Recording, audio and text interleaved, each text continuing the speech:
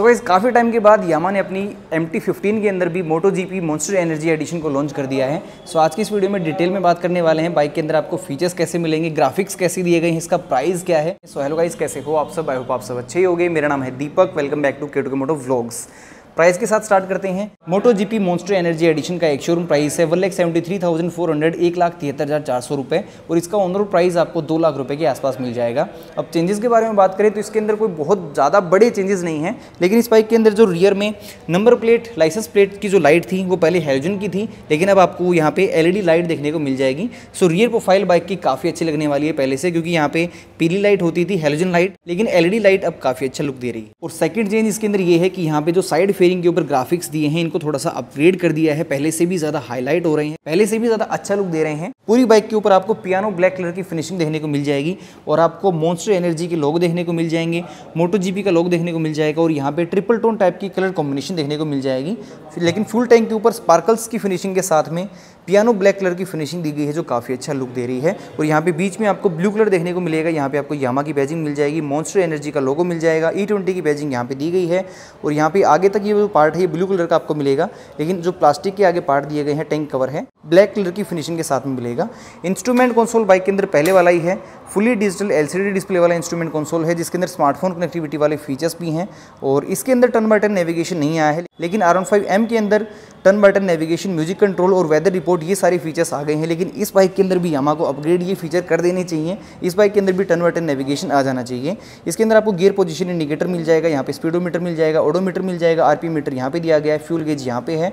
और एक और सबसे इंपॉर्टेंट इसके अंदर ट्रैक्शन कंट्रोल आपको यहाँ देखने को मिल जाता है। बाइक के अंदर ट्रैक्शन कंट्रोल स्टैंडर्ड आ गया है। इंजन बाइक के अंदर वही सेम है, काफ़ी स्मूथ काफ़ी रिफाइंड और काफ़ी रिलायबल 155 सीसी का four stroke single standard liquid cooled B S six phase two complaint और सिक्स स्पीड गियरबॉक्स के साथ में, जो मैक्सिमम पावर प्रोड्यूस करता है 18.4 पीएस की और मैक्सिमम टॉर्क प्रोड्यूस करता है 14.1 न्यूटन मीटर का। लेकिन 150 160 सीसी सेगमेंट में ये इंजन सबसे ज़्यादा पावरफुल इसलिए है क्योंकि इसके अंदर सिक्स स्पीड गियरबॉक्स भी दिया गया है। उसके साथ में वेरिएबल वल्व एक्चुएशन टेक्नोलॉजी भी है, जिसकी वजह से बाइक की माइलेज भी अच्छी है और टॉप एंड परफॉर्मेंस अच्छी निकल के आती है क्योंकि 7200 आरपीएम के ऊपर जाने के बाद बाइक की एक्चुअल में टॉप स्पीड बहुत अच्छी निकल के आती है। 140 किलोमीटर पर आवर के आसपास की टॉप स्पीड इस बाइक की है और माइलेज इसके अंदर आपको 45 किलोमीटर पर लीटर के आसपास की बड़ी इजीली मिल जाएगी। लेकिन अगर आप बाइक को थोड़ा रेड लाइन करोगे, थोड़ा फास्ट चलाओगे तो फिर आपको बाइक के अंदर mileage thirty two forty kilometre per litre के आसपास की मिलेगी। लुक्स डिज़ाइन और स्टाइल बाइक की बिल्कुल पहले की जैसी है। वहीं सेम आपको एल ई का डिज़ाइन देखने को मिल जाता है, जो काफ़ी अच्छा लुक दे रहे हैं। एम टी की आपको यहाँ पे बैजिंग मिल जाएगी और यहाँ पे भी पियानो ब्लैक कलर की फिनिशिंग है, जो बहुत ही प्यारा लुक दे रही है। स्पार्कल्स की फिनिशिंग यहाँ पे भी दी गई है। बाइक के अंदर वहीं सेम 37 सेवन mm के गोल्डन कलर के premium upside down front forks हैं जो बहुत अच्छा लुक देते हैं बाइक को फ्रंट से। जो फ्रंट फेंडर है उसके ऊपर भी पियानो ब्लैक कलर की फिनिशिंग है। यहाँ पे आपको यामा का लोगो मिल जाएगा मॉन्स्टर एनर्जी का लोगो यहाँ पे आपको मिल जाएगा। फ्रंट में वहीं सेम 100 सेक्शन का टायर है 282 एटी mm का डिस्क ब्रेक है बाइब्री के ब्रेक एलिपर्स हैं। वहीं सेम सेटअप आपको मिल जाएगा सस्पेंशन सेटअप बाइक का बिल्कुल सेम है। जो बाइक का ब्रेकिंग सिस्टम है वो भी बिल्कुल सेम है। एलो व्हील्स का डिज़ाइन भी बिल्कुल पहले के जैसा ही है। लेकिन साइड फेयरिंग पे जो कलर्स हैं, जो ग्राफिक्स हैं, वो थोड़े से अपग्रेड हो गए हैं। यहाँ पे आपको यामा की बैजिंग मिल जाएगी और ये वाला पार्ट आपको ब्लैक कलर की फिनिशिंग में मिलेगा। इलेक्ट्रॉनिक फीचर्स के बारे में बात करें तो बाइक के अंदर असिस्टेंट स्लिपर क्लच आपको मिल जाएगी। बाइक के अंदर डुअल चैनल एबीएस स्टैंडर्ड आ चुका है और इस बाइक के अंदर ट्रैक्शन कंट्रोल भी आपको मिल जाएगा। ये तीन इलेक्ट्रॉनिक फीचर्स बाइक के अंदर दिए गए हैं और बाइक के डायमेंशंस के बारे में बात करें तो इसका वेट बहुत ही कम है। 141 फोर्टी का वेट है। अपनी सेगमेंट में काफ़ी लाइट वेट है। मोस्ट लाइट वेट मशीन है 150 160 सीसी सेगमेंट में, जिसकी वजह से power to weight ratio torque to weight ratio बहुत अच्छा है। इनिशियल एक्सेलेशन पिकअप अच्छा निकल के आता है बाइक का। और इसका जो ग्राउंड क्लियरेंस है, वो आपको 170 सेवेंटी mm का मिल जाएगा। सेगमेंट के अकॉर्डिंग काफ़ी अच्छा ग्राउंड क्लियरेंस है बाइक का।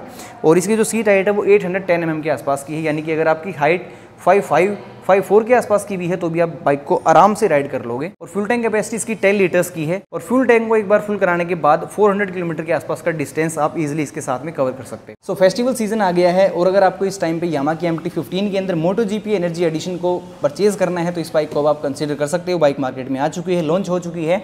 तो इस वीडियो में यार फिर इतना ही। आई होप ये वीडियो आपको अच्छी लगी होगी। कुछ भी इस वीडियो में आपको पसंद आया हो तो लाइक ज़रूर कर देना। चैनल को अभी तक सब्सक्राइब नहीं किया है तो सब्सक्राइब कर सकते हो। और अपने भाई को इंस्टाग्राम पे फॉलो भी कर सकते हो एट दी रेट के मोटो व्लॉग्स पे तो फिर मिलते हैं अगली वीडियो में till then ride safe drive safe